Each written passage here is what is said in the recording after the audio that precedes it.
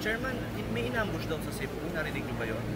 Um, may narinig ako sa Rosario Cavite, yung Yeah. ano, pero hindi ko pa masyadong ano yung mga ibang ah, reports, hindi ko pa narinig. Ah, for now po, ano po ba yung, ano, yung ah, action ng COMELEC sa mga ganyan? Generally, how would you describe Well, kami ay nakikipag-ugnayan sa ating kapulisan nga para siguraduhin yung ah, kapayapaan, ah, yung peace and order.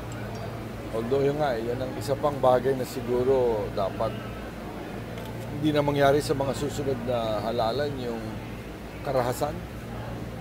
Sabi ko nga kanina sa uh, na mag-compile ng ating ah, statistics no, to show paano ba ang um, yan, level of violence sa 2016 compared to 2013 and 2010. And ano ang mga pwedeng gawin? Ano mga remedyo na pwedeng ah, ipatupad para nga mabawasan talaga itong ah, mga ah, acts of violence.